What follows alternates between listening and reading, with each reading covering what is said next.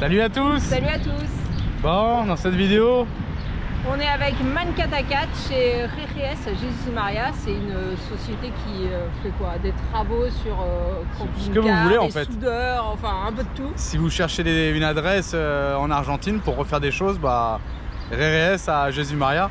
Donc oui, pourquoi on est revenu à Jésus Maria? Pour voir les Mancatacat avant de partir Parce que ça y est, eux, ils font le tour aussi euh, bah, comme nous, hein, Eux ils vont vers le sud et nous, Nous vers le nord. Voilà. vers le centre. Et euh, faire un coffre sur le camion, vous verrez euh, ce qu'on améliore, ce qu'on change, ce qu'on modifie. Allez, bonne, Bonne vidéo. vidéo. À bientôt, ciao. Ciao Bienvenue sur la chaîne XCG Family où vous pourrez suivre notre aventure.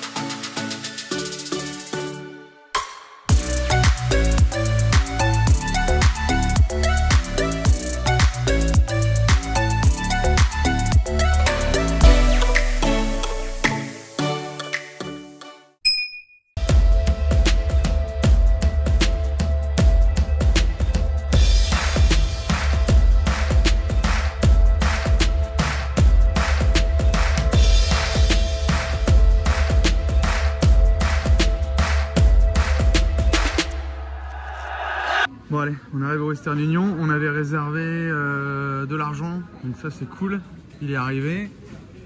Ensuite on va faire les courses, du coup on a missionné les enfants à aller faire les courses et nous on va chercher le Western. Et franchement ça s'est bien passé ce matin, on a tout trouvé ce qu'il nous fallait. Impressionnant. Ouais, tout tout tout. Pour la bouteille d'air, On aurait même pu venir ici pour les habits en fait au lieu d'aller là où on a été. ouais, mais c'est lavage à sec je crois ici. Là on a laissé nos draps. Allez on va aller voir la copine du Western, ça fait un an qu'on n'est pas venu là. Et ouais cool, on a vraiment tout trouvé, il nous reste juste la ferraille à aller acheter cet après-midi.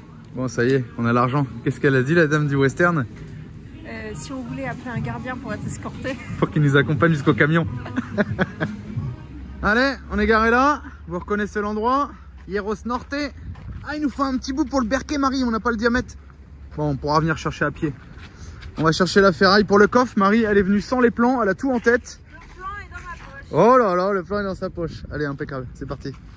J'adore cet endroit. J'adore ce qui se passe. Bon alors du coup on a trouvé des plaques qui ont déjà été coupées donc on n'achète pas de la neuve, on achète de la deuxième main. Donc une grande là là, plus la grande qui est là-bas. Putain mais qu'est-ce qu'on va faire Marie? Un coffre énorme Pour mettre les gosses. Si on y arrive à le faire parce que. Ouais, ici c'est bien parce qu'on peut acheter du neuf, on peut acheter du vieux dehors et on peut acheter du neuf qui a été coupé parce qu'ils coupent les plaques ici, c'est bien. On n'est pas obligé d'acheter une plaque entière et après ils revendent les morceaux au poids. Donc euh, bah, c'est vrai que euh, Hieros Norte c'est pas mal. On vous dira le prix au kilo, combien ça coûte, mais euh, du coup là on a pris une grande plaque en 2 mm je crois celle-là. Non, un 6. Ouais parce que c'est en poulgare ici. On est gros con. Ouais. Un 6. Allez, on va voir combien ça coûte. Bon, allez, on sort. J'ai pris un flap, deux disques. On a pris trois plaques en seconde main. Ouais, mais les- on a une. C'est un petit bout, non? Ouais, je sais plus. Ah oui, il y a plus un plus 47 000 Non, pesos. 4 plaques en. Et franchement, si vous avez besoin, il faut venir là. Hein. Ouais, Jésus Maria.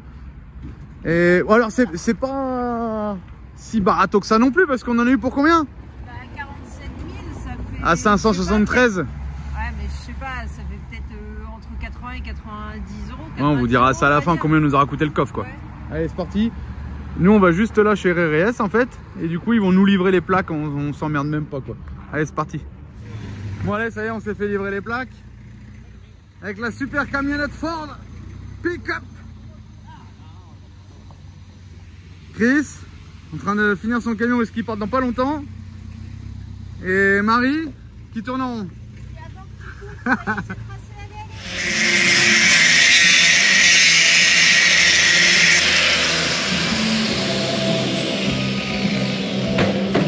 Alors, qu'est-ce qu'on fait là? On réutilise un coffre Putain, j'ai euh, mis des lunettes. pour autre chose. Oui, c'est bien, tu t'améliores. On modifie le coffre. Normalement, c'est le coffre de l'extincteur. C'est pour ça qu'il y a des trucs à l'intérieur. C'est pour caler l'extincteur. C'est fait exprès. Maintenant, faut qu'on arrive à désolidariser. Faut que tu coupes ça aussi tant que tu y es. Ouais, avec ça aussi. On va le réutiliser pour mettre le petit bidon d'essence. Sauf- que de faire un support. Sauf qu'au fond, il y a des armatures en ferraille que euh, ça va être compliqué. Ouais. Comme euh, il est un peu vieux le coffre, un peu difficile d'enlever ce qu'il y a dedans, parce qu'en fait, euh, c'est pas soudé, c'était juste coulissé ce morceau-là, mais il est complètement rouillé, donc dur à l'enlever. Et bah, pour le reste, on a dû faire des petits morceaux pour réussir à enlever, mais ça y est, on y est presque. Comme ça, on réutilise le coffre euh, à un autre endroit. Mais pas pour euh, l'extincteur cette fois. Parfait. C'est bon, j'ai la plaque en ferraille si tu veux souder. Moi, je trouve qu'ils ont des drôles de mœurs quand même. C'est hein. esthétique quoi. Mais qu'est-ce qu'il fait? Voilà. Il use son corps comme d'une cale. Alors qu'il avait le dos coincé hier. Tu peux pas nous donner la lampe Vas-y, lève, lève, hop. On continue dans la découpe. Là, on est en train de faire une plaque pour pouvoir supporter les jerrycans. Parce qu'on a déplacé les jerrycans et euh, il y a certains boulons qu'on ne peut pas récupérer qui sont vissés au-dessus du plateau, sous notre caisse. Donc on leur refait euh, un support euh, pour pouvoir les accrocher dessus pour être sûr qu'ils tiennent bien. Parce que quand ils sont pleins, à chaque fois c'est 20 kg, il y on a 60 kg. Donc euh, vaut mieux que ça tienne. On essaye de récupérer les supports du petit coffre. Et là, ils utilisent une presse pour essayer de redresser la bosse, que ça faisait un U et nous on veut faire un L. Donc avec la presse, ils essaient de redresser pour euh, que ce soit pas trop tordu, mais en même temps là où ça sera, ça se verrait pas trop. Bon bah maintenant, euh, on finit euh, de redresser au marteau à la masse.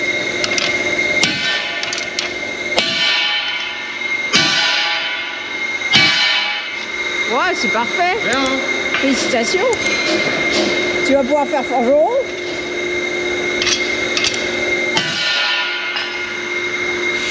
On continue, on coupe à la bonne taille.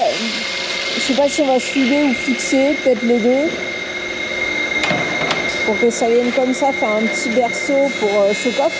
Ce qui est vraiment en tôle très fine, alors on voudrait pas que euh, Et là, un petit coron là. ça passe à travers si on le fixe avec des vis, comme ça au moins, et que ça c'est renforcé. Ils ont inventé un petit truc pour détordre. Sauf que faut Sauf que ont monte. pas. Ouais, il faut que je monte sur le truc pour faire du poids parce que l'étau il est pas accroché au sol. Mais c'est pas mal. Un peu comme euh, quand tu plies les ferrailles au chantier quoi. Sauf que toits euh, au sol comme ça. Bon, je vais lâcher le truc pour mettre plus de poids parce que qu'un pied ça suffit pas.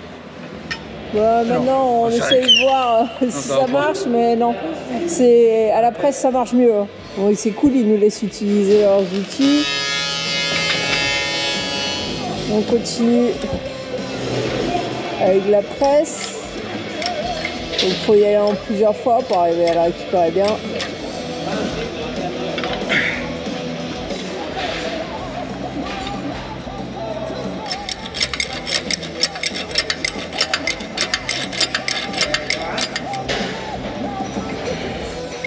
Le petit coffre va arriver ici.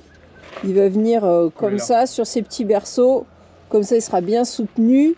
Puis en même temps, je pense qu'on va le raccrocher sur ce coffre-là aussi. Mais il monte pas jusqu'en haut, hein. il monte seulement jusque là. C'est vraiment un petit rajout. Comme ça, on peut mettre le bidon là, à côté du groupe électrogène et à côté de la tronçonneuse euh, qui est dans l'autre coffre. Là. Ça, là, tout est groupé on au même endroit. le berceau qu'on a modifié, découpé, et ça va lui faire un berceau ici. Et on va récupérer les chutes euh, pour faire des équerres aussi. Allez, vas-y, trace, bébé. Il y a un truc qui est bizarre parce que finalement, il y a un an, à la même époque, on était là, en train de filer un coup de main au 24 à 4. Là, et on partait aux baleines. Là, on est en train de faire, nous, des coffres. Et eux, ils partent aux baleines. Un an après, quoi. Enfin, c'est fou. Et on a pas l'impression qu'on est parti un an, quoi. On est là au garage avec les potes, tout pareil, on est stationné là. Enfin, ça fait vraiment bizarre, hein. C'est rigolo. Chacun son tour. Nous, on remonte et eux, bah, ils descendent comme nous, on a fait l'année dernière, quoi. Ouf. Bon allez, c'est la fin de journée. Il va nous souder euh, un petit peu le fond là, le remettre droit parce que comme la tôle est très fine, il est un peu brillé le coffre. Et il va nous faire un beau cordon tout du long, ça va être parfait. On a mon catacate euh, qui nous embête. Hein. Il va sortir parce que c'est la fin de journée, donc euh, il va ressortir le camion euh, du hangar.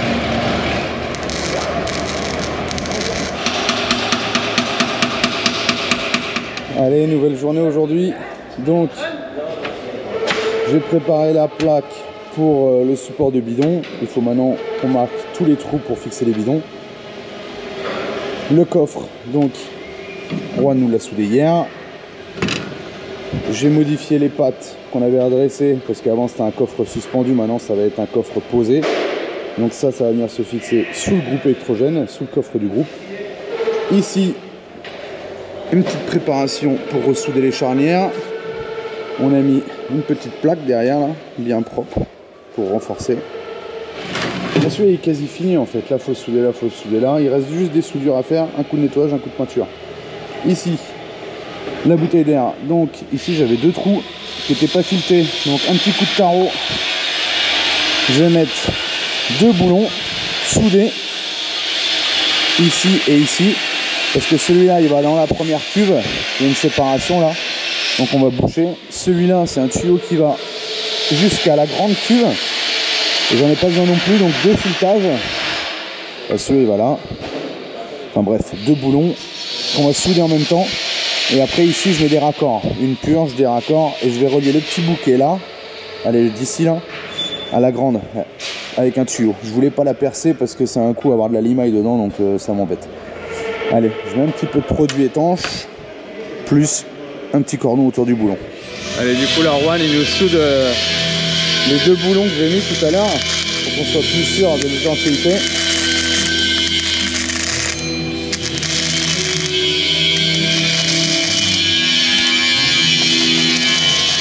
Allez, il nous soude les deux petites charnières sur le coffre. Euh, il va me souder les deux supports que j'ai fixés avec les vis, mettre un petit cordon pour que ça fasse propre. Faire deux trois petits points sur la plaque que j'ai rajouté là, là, histoire de renforcer un petit peu. Ça va le faire. hein. Après nettoyage, peinture. Alors aujourd'hui, on a préparé cette plaque-là qui vient se reprendre des vis existantes, plus on lui a rajouté des boulons. Et la plaque, elle est là pour être plus solide que, euh, bah, le bois du camion, puisque les porteurs bidons, sinon, ils seraient accrochés dans le bois du camion. Et pour éviter qu'il y ait un problème que ça s'en aille, parce qu'il y aura quand même euh, du poids, il y aura plus de 60 kilos. Et bon, on a refait une plaque pour que ça se reprenne sur la plaque. Et la plaque, je pense qu'on va la souder au châssis ou on va mettre des cornières, on va, la rattacher sur les parties métalliques du châssis. Il ne reste plus qu'à retourner à la plaque et venir souder tous les boulons pour qu'ils bougent plus. Et ça, les têtes de boulons, elles vont s'enfoncer dans le bois euh, du plateau du camion. Euh, Julien est en train de souder. Comment tu procèdes? Du coup, je mets un contre-écrou derrière, un papillon, je le bloque. Comme ça, je suis sûr de le souder droit. Et du coup, je pointe les têtes de vis.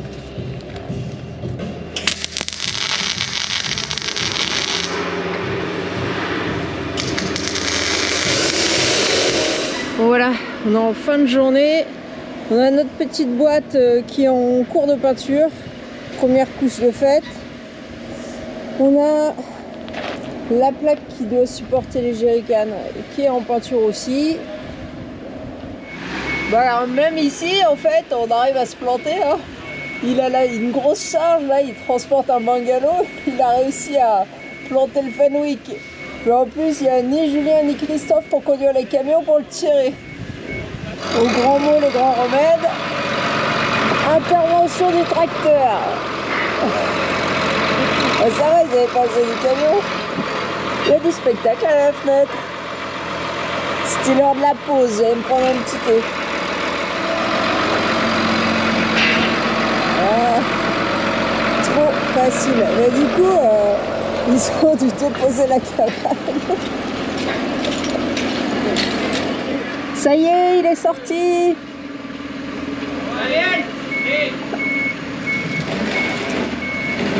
Ouais, c'est méthode euh, traction, hein. on le traîne.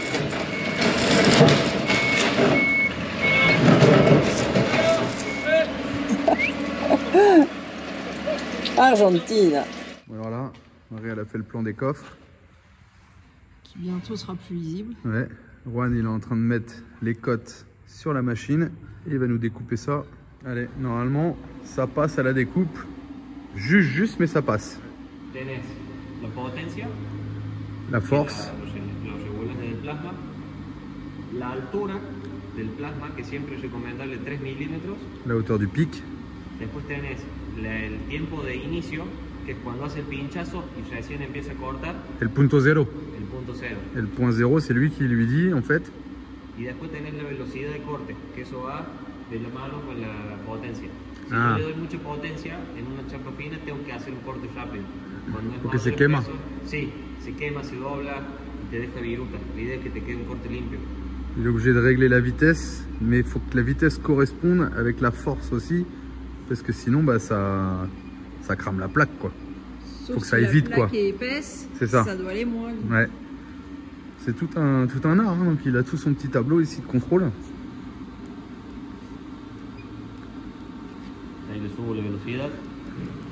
Ah, il règle la vitesse là. Et là, ça va être parti. Le point zéro.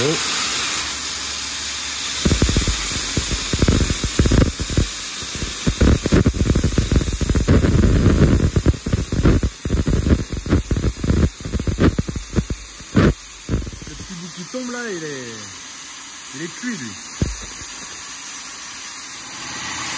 On a le compresseur qui vient de se mettre en route. C'est plus rapide que la boussole, hein Ouais, plus propre aussi, ouais. Non, je crois qu'il faut mettre un peu de quand même. Et voilà.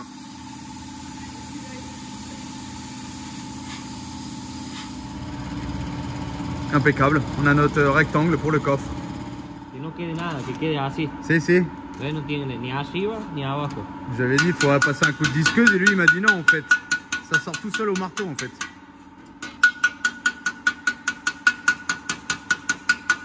Alors là, il va nous faire euh, les triangles. Ça calcule la diagonale tout seul? Si, Trop bien. Sí, yo No.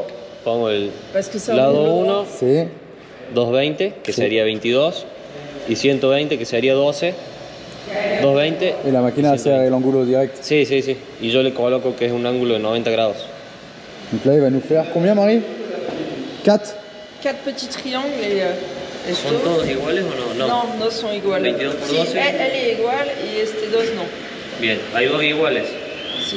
Bon bah là ici on est passé dans l'hôpital. Hola, hola doctor, hola doctor.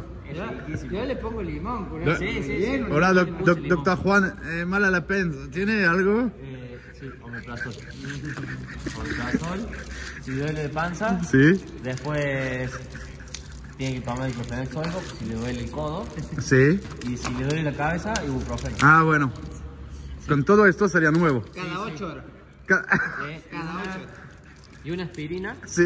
para contrarrestar el efecto del Viagra. Ah bueno, gracias. Doctor John.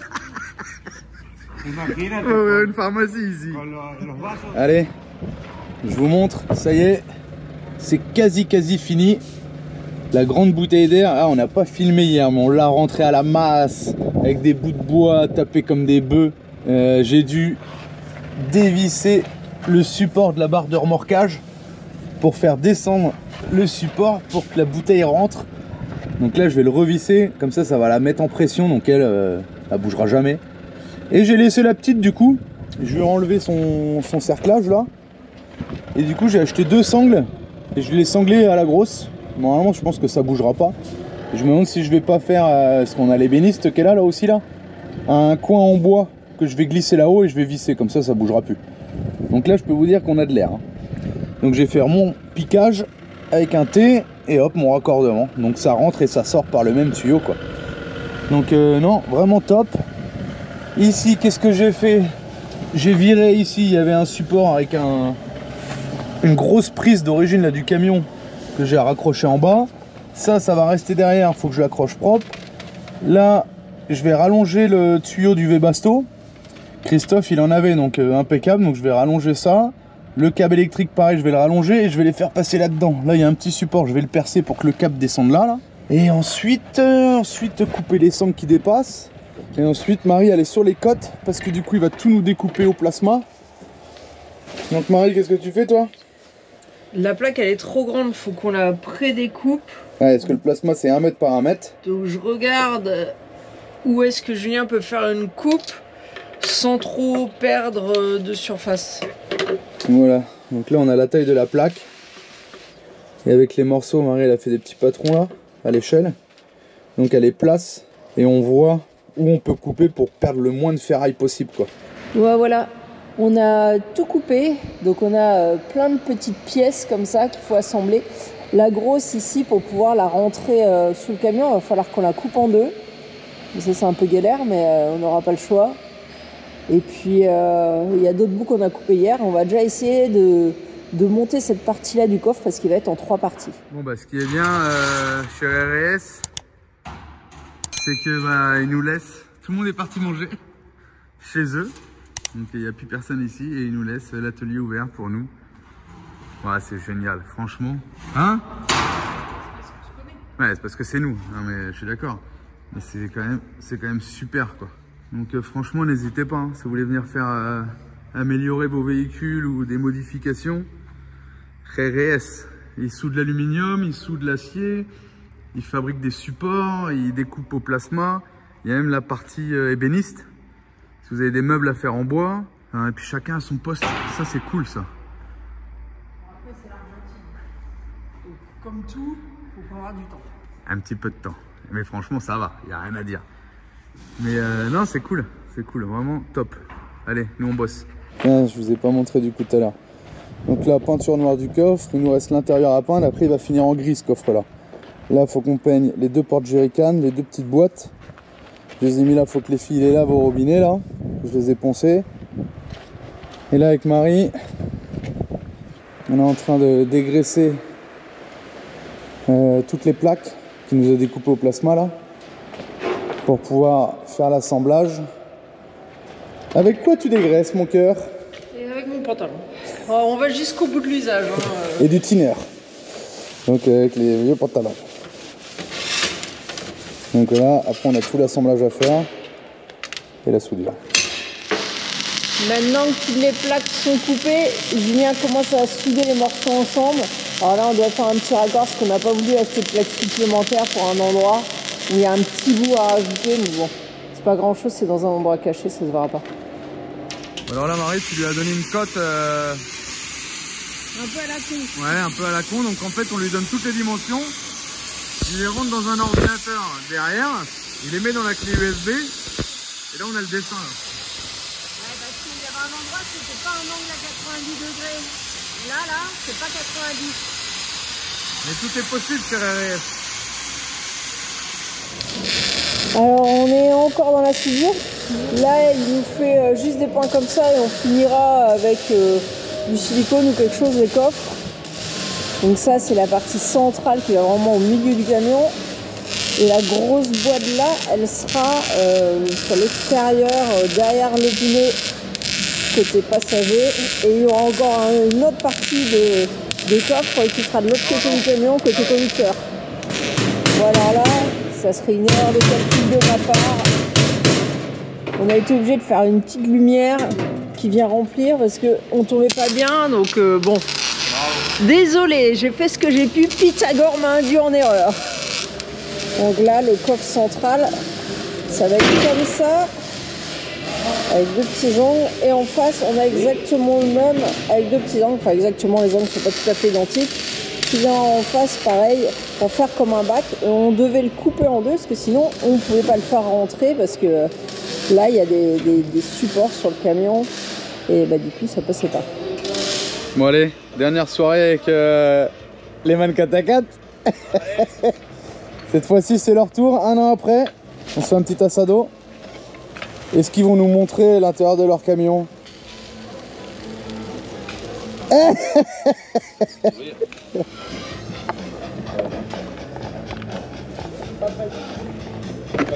Alors, Julie La fout à mal. Et on est en mode nocturne, là. Bon, j'ai changé de caméra. Alors voilà. Là, on a le petit coin salon avec le lit qui descend. On voit là, il a ses petits guides ici qui a deux positions, soit vraiment juste là ou un peu plus haut. Donc ça, c'est le lit des parents. Et de ce côté-là, alors ces dents sont jus parce qu'ils partent demain. Ici, on a le frigo, la cuisine avec un grand rangé pisse là, salle de bain ici derrière et le lit des filles puisqu'ils ont deux filles. Et là, dans la salle de bain, on a un WC chimique, un petit chauffe-eau, une grosse machine à laver, c'est la plus petite qu'on trouve en Argentine, et bac à douche avec une colonne de douche. Et là, la cuisine, elle est quand même super grande, avec en plus des meubles hauts. Et ici, regardez la banquette, elle est géante parce que je crois qu'ici, il y a presque 1m90 et là, ça fait toute la largeur du camion. Évidemment, ça se transforme en lit avec dessous les réserves d'eau. Dans le fond, il y a aussi les batteries, la pompe, tout ça. Ici, ils ont un petit placard à chaussures. Et je crois que là, c'est un petit placard à vêtements. Et là, il y a même une climatisation. Aujourd'hui,